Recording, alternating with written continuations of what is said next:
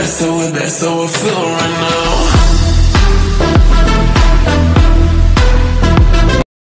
now. No, seriously, what is this place?